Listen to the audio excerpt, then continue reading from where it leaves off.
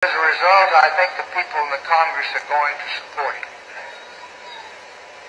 And that message calls for new frontiers, new visions. It calls for us taking the steps now that will make us no longer second in space and in science. It lays the predicate and the foundation for a communication satellite that will permit the people of the world to see one television program at the same time throughout the world. Think about that kind of communication and think about the opportunity that will provide. It lays the predicate and the foundation for the development of a weather satellite